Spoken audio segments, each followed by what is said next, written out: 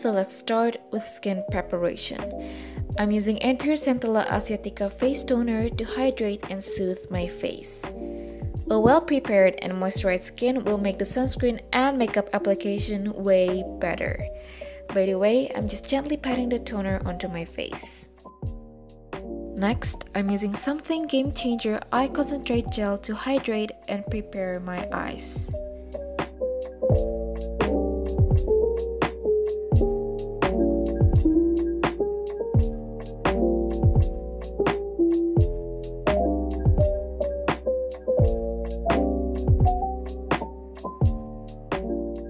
And the last step for my skin preparation is sunscreen.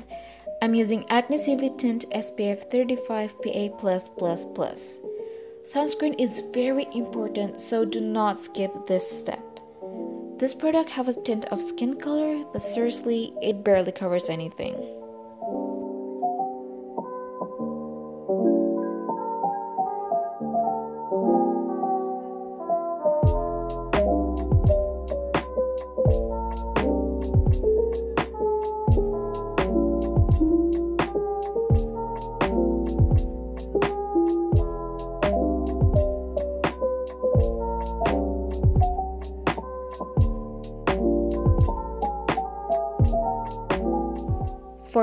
Lips, I'm using Emina Lip Mask to prep my lips for the intense red matte lipstick later on.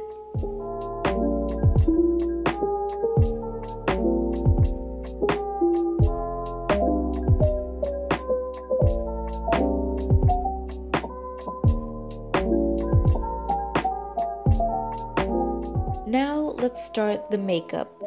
I'm using Maybelline Instant Age Rewind Concealer in number 120 aka Light. I'm applying it on areas that have acne scars.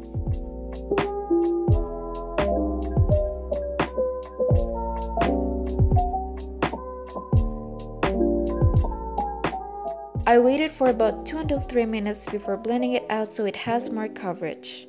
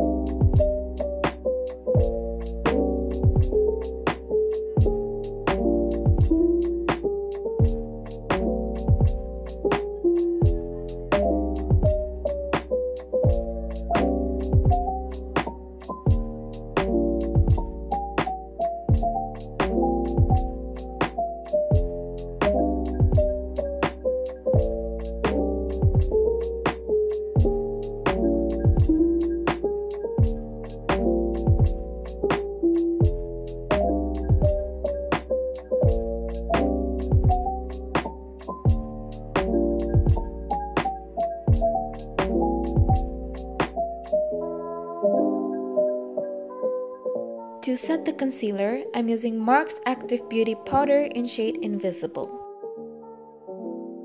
I pour some of the powder on its lid, then I dip my powder puff into it. But before I apply it on my face, I tap the powder puff on the back of my hand to remove the excess powder since my under eye will crease like crazy if I add a lot of powder. I'm just setting areas that I put concealer on, so not my whole face cause the sunscreen already have a matte powder finish and I don't want my face to look very powdery.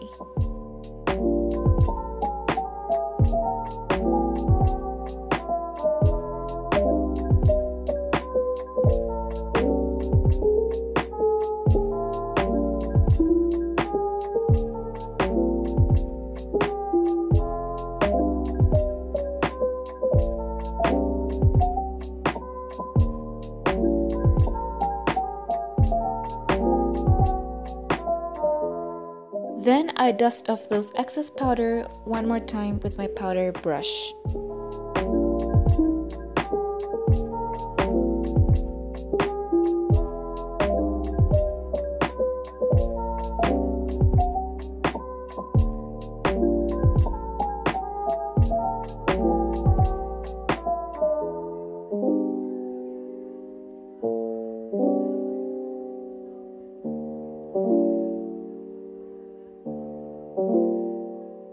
For blush, I'm using Pixy Twin Blush in number 4 aka Neon Orange. I'm using cream blush because it looks more natural. And this particular color looks like I'm just naturally rosy, which is good.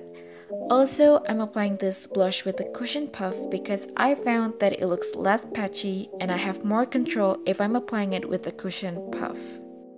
I'm just tapping it onto my cheek and my nose. I only apply a little bit on my nose because I want to look naturally rosy, not drunk.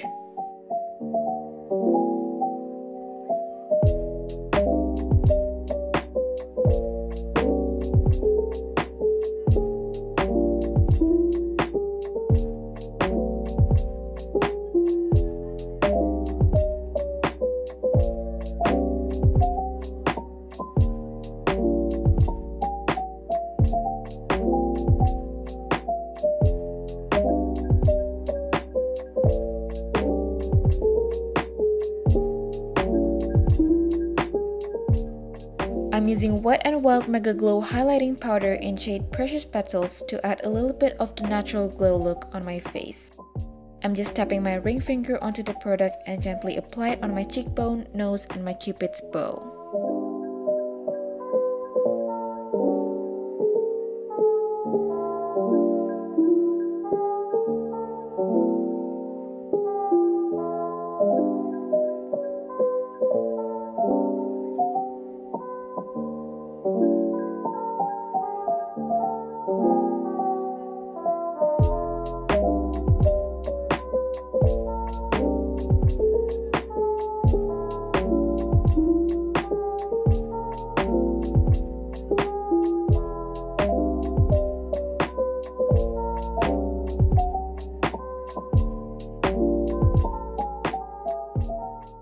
For eyebrows, I'm just brushing them with a spoolie so they are more neat.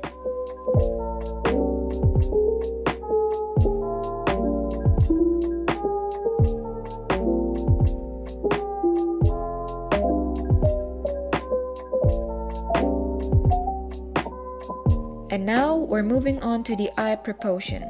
For today's video, I'm using Morphe X James Charles The Artistry palette. I'm applying Punch Me, which is this light brown color, all over my crease.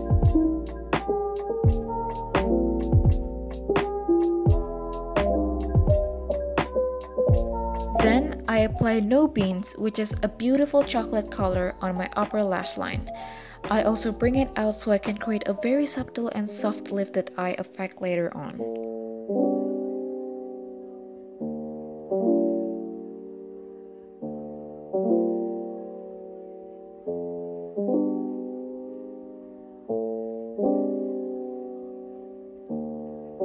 Then I blend out no beans with a clean blending brush.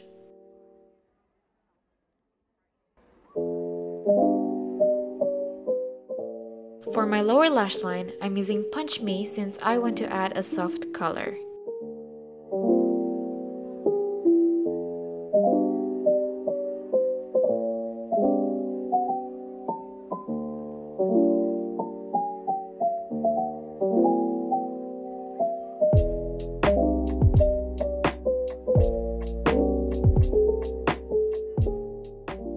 Mascara, I'm using Maybelline Total Temptation Waterproof Mascara. I apply a generous amount of it so my eyelashes are more visible and make my eyes look more open.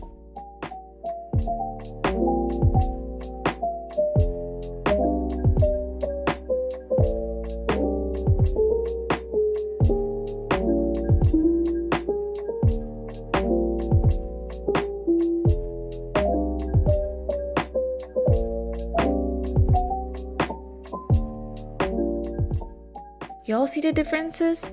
Ladies and gentlemen, that's the power of good mascara. Next, I'm using Pixy Aqua Beauty Protecting Mist to make my base look more natural and glowy.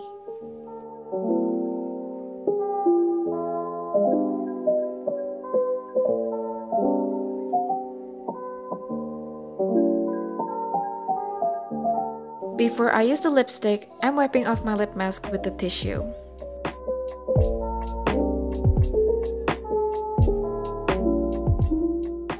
Finally, last but not least, a classic but iconic red lipstick to finish off this French makeup look. I'm using Maybelline Superstay Matte Ink in number 220 or Ambitious. Since this product has super stay ability, I have to be careful when I'm lining my lips. Cause if I'm not being careful, there are chances that I will look like Miranda Sings. Yeah. By the way, after lining my lips, I fill it out a little bit, then tap it with my ring finger to blend it out.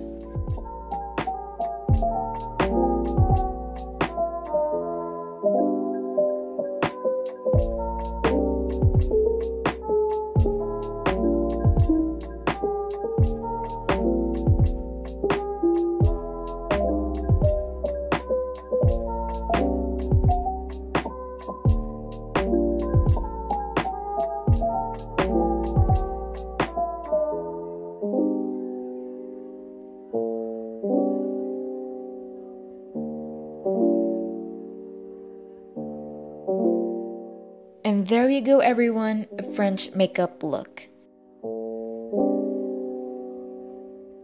If you enjoyed this video, be sure to give it a thumbs up and you can use my affiliate links in the description box if you want to purchase any of the products that I use in this makeup look. So that's it and I'll see you guys on my next video. Bye bye!